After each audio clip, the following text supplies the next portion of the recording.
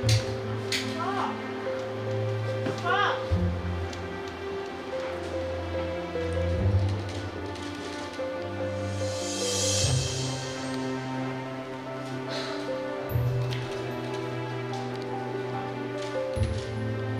泼水节就是我们泰国的新年了。我们泰国新年就是四四月开才开始，跟我们中国跟那个国际就有一点不一样了。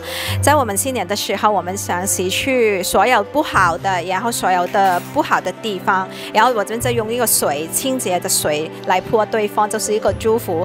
像我们中国人去啊，给你一个利是一样，这个红包就是这个意思，就是祝福大家。所以我们就会互相泼水。然后在泰国啦，四月的时候就是很热。的北港热很多，现在已经有四十多度了，所以所以我们就会在泼水凉快一点，又是很舒服的感觉。今年泰国泼水节喺香港做呢，即系始终我哋都想俾我哋文化中国朋友泰国新年有好多节目带嚟呢度，带嚟我哋嘅文化。